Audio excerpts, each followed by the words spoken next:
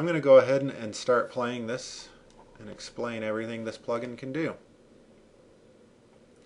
Right now I've got the mirror rotating to show how the reflection works. You can see that even the particle systems, the sphere that represents the player, and the light at top, everything is reflected. I'm going to show you all the configuration options that you can use for Magic Mirror now. So up at the top I've got this prefab called Mirror. I've got this crack here and the frame here. They're part of the prefab.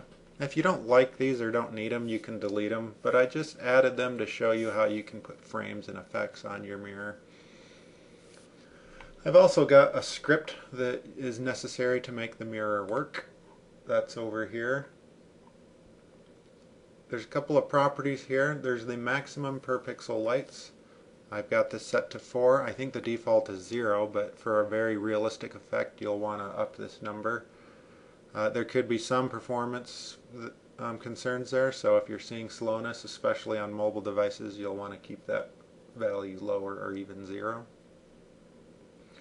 The texture shot size is, uh, controls how the render texture displays and how much memory it uses. I've got it set to 1024, which basically means it's going to be a 1 megapixel texture.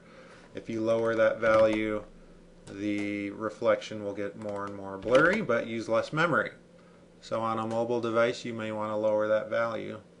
But if you're only targeting modern mobile devices and desktops, you could probably leave that at 1024 and you'll have a very nice crisp reflection. The clip plane offset can zoom the reflection in or zoom it out in this case. If you do negative values it'll zoom in. Typically you can use that, leave that at zero unless you want to do some crazy effects there. You can possibly animate that. You can control what's reflected here, so if you set it to nothing, you'll just get the detailed texture, which I'll explain in a minute. Uh, again, you'll probably just want to leave that to everything unless you're going for a special effect. If you use lens flares, you can add a flare layer. I typically leave that off, but if you need that, it's there. And then normal is forward for quads, which is what the prefab is. You'll want to keep that checked. For planes, you want to turn that off since they default to pointing up instead of forward. Alright, let's get to the mirror material. The script actually makes a copy of the mirror material, so you don't want to edit this mirror material here. You actually want to go to the shader here. You see my mouse cursor in the top right? The mirror material is instanced when you start playing so that changes you make don't actually modify your original material, which is really annoying. I'm not sure why Unity does that, but they do, so I clone the material. First off is this detail texture.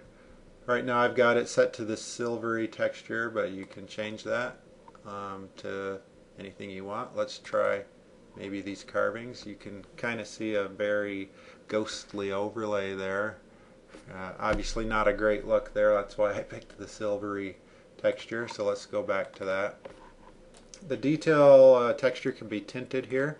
I've got the tint value set really dark, which means you're not going to see a lot of the detail texture. But as you move that higher, the detail texture shows up more. So now you can see there's kind of the silvery film over my mirror, which if you want a kind of a dirty or misty mirror, be a great effect. But for me, I want a shiny, clean mirror, so I leave that to a pretty low value.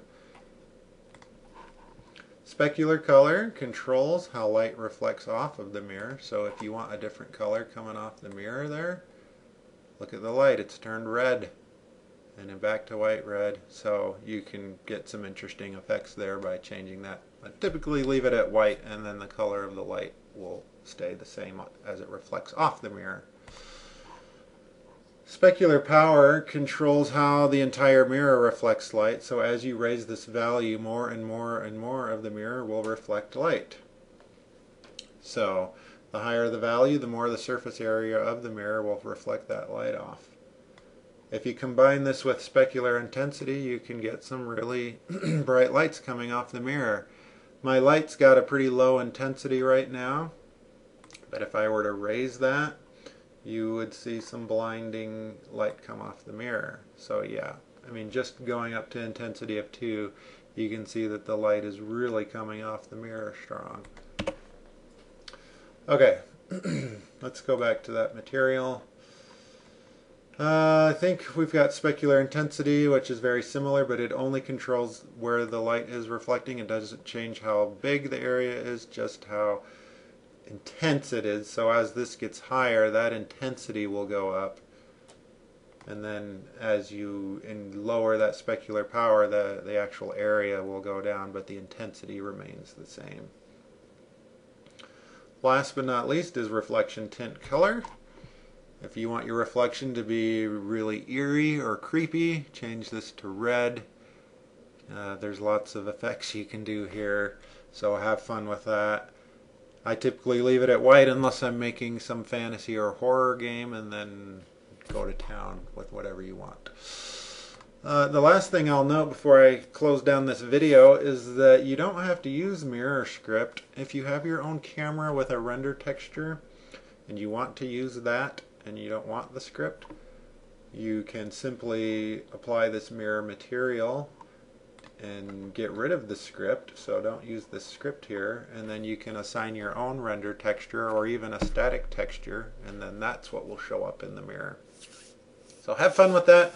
Hope you enjoyed this video. Please email me at jjxtra at gmail.com and I'll answer any questions and try and help you out if you have any issues with the plugin have a great day